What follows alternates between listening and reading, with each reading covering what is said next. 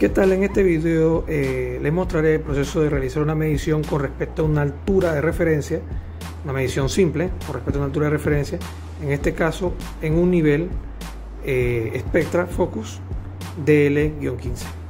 Bien, nos vamos acá a donde dice medir en la pantalla de bienvenida o de inicio del sistema, Enter y nos vamos a la opción que dice GD y HD.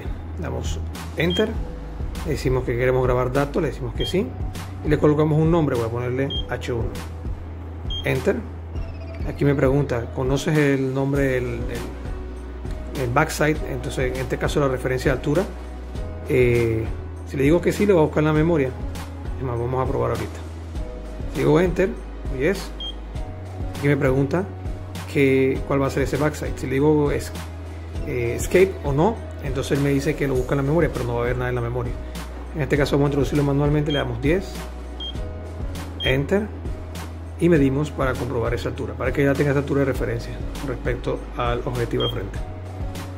Recuerden que para medir el botoncito rojo de acá. Ok, ya tomó todas las lecturas. Podemos revisar qué datos tenemos ahí. Ah, le damos Enter para grabar el dato.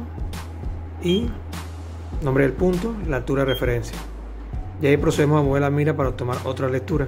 Esta distancia que vemos aquí abajo es la distancia del nivel a la mira. Ok, eh, ya puse el nivel hacia ese punto. Le vamos a dar acá Enter y acá me permite medir el siguiente punto de, la vista hacia adelante. Les comento algo, eh, este método, a diferencia del método que vimos en el primer video con respecto al tema de medición, este método me pone la altura de la mira o estadia con respecto a una referencia que yo le di previamente, a un backside. A diferencia del otro, simplemente mide la altura arbitraria que le está registrando la mira en el momento. ¿okay? Esa es la diferencia entre este y el otro método. Vamos a darle acá a medir nuevamente con el botón de acá al lado y esperamos la medición. Ok, ya tenemos la lectura. Esperamos que me aparezca el mensaje.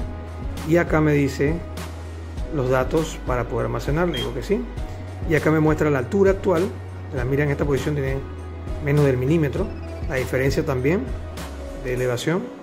Y aquí puedo bajar para ver los datos, como nombre del punto y la información que se registró de la lectura de la mira en este momento. Si ya estoy conforme, le digo Escape, le digo Enter para salir y quiero confirmar. Y eso sería todo. Bien, espero que este video le haya sido de utilidad y cualquier consulta a la orden. Saludos y gracias por vernos.